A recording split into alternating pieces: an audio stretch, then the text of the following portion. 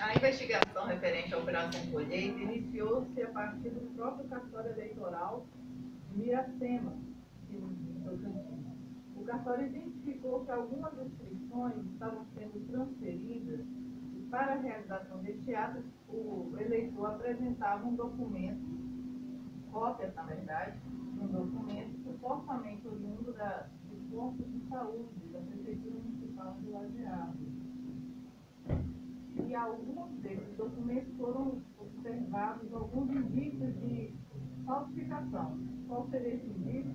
Havia a identidade do, da prescrição médica dessa ficha de atendimento. Só se alterava o nome do paciente e o endereço onde ele residia. Observando essa irregularidade, o próprio cartório eleitoral efetuou o acionamento da Polícia Civil lá de Miracema, que efetuou algumas prisões em flagrante e também realizou algumas oitivas de vários eleitores que estavam relacionados a essas fraudes percebidas. Em razão dessas fraudes, foram encaminhados os inquéritos aqui para a Polícia Federal e iniciada a investigação que hoje nós culminamos com essa etapa da Operação Colheita.